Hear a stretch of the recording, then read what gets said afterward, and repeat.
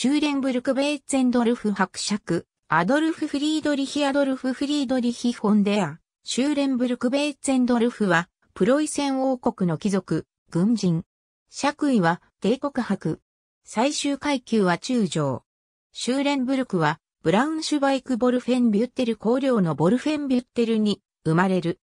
シューレンブルク家はそのうちに多くの分家を抱えて、北ドイツの各地に領地を有した一族で、父、アハツ・フリードリヒは、現在のニーダーザクセン州ホルツミンデンは、ヘーレンの領主であり、またハノーファー選定公領の枢密顧問官を務めた。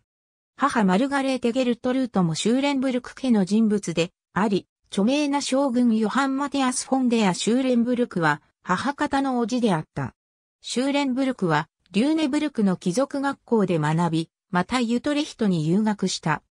しかる後、1705年にハノーファー軍に入り、オジアレクサンダー・フォンデア・シューレンブルクの騎兵連隊に所属してスペイン継承戦争への従軍を開始する。翌1706年ラミーの戦いに参加した。以後講和までネーデルラント戦線で戦い、1711年には少佐となった。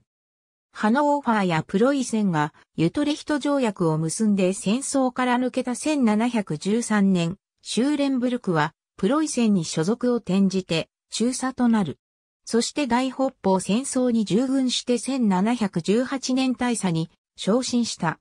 同年アナ・ーデルハイト・フォン・バルテンスレーベンと結婚。プロイセンに仕官してからしばらくしないうちに、シューレンブルクはフリードリヒ・ビルヘルム一世の信任を受けて、行政や外交にも携わるようになった。1717年から始まった在地貴族に対する封建義務解除とその代わりとしての騎馬税課税問題で、アルトマルクの盗賊が課税に強行に反対したとき、王はアルトマルクに同族が多数いるシューレンブルクを対策のために派遣し、シューレンブルクは彼らの怪獣と説得に努めた。また外交では、王太子フリードリヒとエリーザベト・クリスティーネの婚約取り決めを皇帝カール6世に報告するに、あたって、ボルフェンビュッテル公領出身のシューレンブルクが使者として用いられた。以後、シューレンブルクは王太子の友情も得て、王太子を王の歓喜から守る役割を果たした。この間シューレンブルクは1724年第三流、騎兵連隊シェフとなり、1728年少々に任じられている。またこの年、後継者のいないヨハン・マティアスから皇帝の許しを得て帝国博の地位を譲渡された。1733年に開始されたポーランド継承戦争にも従軍し、王太子を補佐している。1740年にフリードリヒビルヘルムが死去して大王が即位した時、シューレンブルクは駐屯地から飛んできて大王に祝辞を言上したが、大王は命令も受けていないのに部隊をほっぽり出してやってきたシューレンブルクを咎めた。失調したと思ってシューレンブルクが糸間合意をすると、大王はそれを否定して彼を中将に昇進させ、黒足勲章を授与した。その後大王はシューレンブルクの連隊を採掘したが、評価は悪く、シューレンブルクは注意を受けた。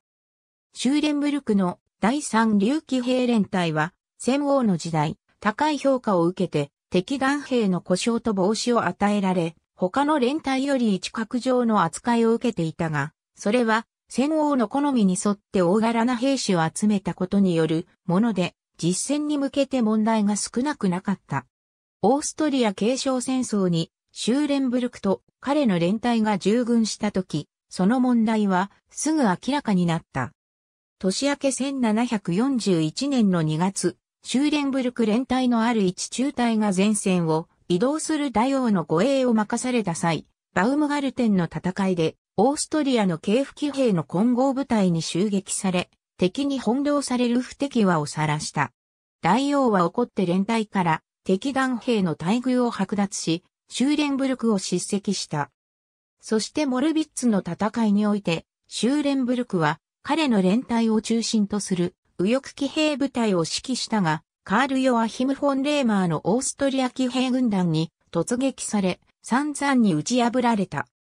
シューレンブルクは、なんとか部隊を立て直そうと力を尽くし、近くにいた中隊と共に敵に突撃したが、馬を撃たれて落馬し、さらに敵騎兵に顔を切られ、左の眼球がこぼれて、彼の方の上にぶら下がった。